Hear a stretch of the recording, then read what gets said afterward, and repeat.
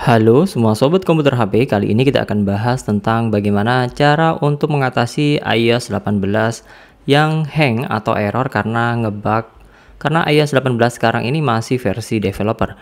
Mungkin di antara kalian ada yang coba pakai iOS versi 18 dan mengalami yang namanya hang atau error, tentunya akan bisa menggunakan cara ini untuk mengatasi yang namanya error atau ngehang pada iPhone dengan iOS versi 18.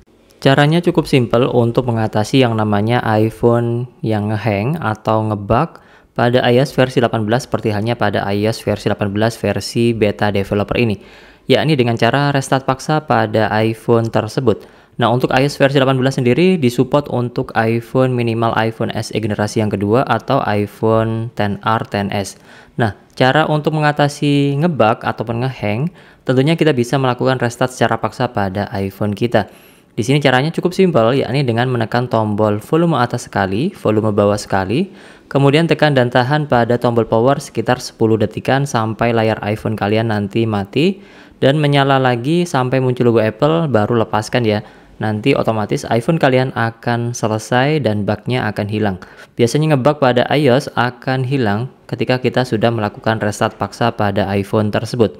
Jadi tinggal tekan saja volume atas sekali, volume bawah sekali, dan akhiri dengan tekan dan tahan pada tombol power selama sekitar 10 detikan sampai nanti iPhone kalian mati ya. Kalau muncul tombol seperti ini tentunya karena layar kita sedang ngebug atau error tentunya nggak bisa disentuh dan tinggal kalian tekan saja sampai layar iPhone-nya mati seperti ini baru lepaskan kalau sudah muncul logo Apple di layar iPhone kalian. Kalau sudah muncul logo Apple seperti ini, tinggal kalian tunggu sampai masuk ke bagian home screen dari iPhone kalian Kemudian masukkan untuk passcode dari iPhone kalian tadi, maka otomatis biasanya cara ini sangat efektif untuk mengatasi yang namanya iPhone yang ngehang atau ngebug pada iOS versi beta seperti ini ya. Yang kebanyakan ada bug pada iOS versi tersebut.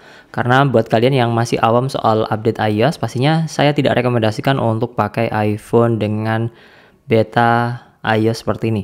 Lebih baik kan tunggu saja sampai beta public yang overall sudah minim untuk adanya bug pada iOS versi tersebut. Jadi buat kalian yang mau coba iOS versi 18 pastikan sudah melakukan backup iPhone terlebih dahulu pada iTunes ataupun iCloud supaya nanti kalau memang ada kendala yang memang harus ngerestore dari backupan kalian karena daripada kita melakukan flash ulang pada iPhone, lebih baik kita restore dari backupan yang sudah kita lakukan tadi, sehingga data kita tidak hilang. Dan overall untuk mengatasi bug seperti ini sangat simple banget, yakni dengan menggunakan fitur restart paksa pada iPhone yang kita gunakan menggunakan versi beta developer tadi. Semoga bermanfaat, jangan lupa like, subscribe, dan share, dan jangan lupa tinggalkan komentar kalau ada pertanyaan seputar video ini, dan sampai jumpa di next video di channel Komputer HP. Bye-bye.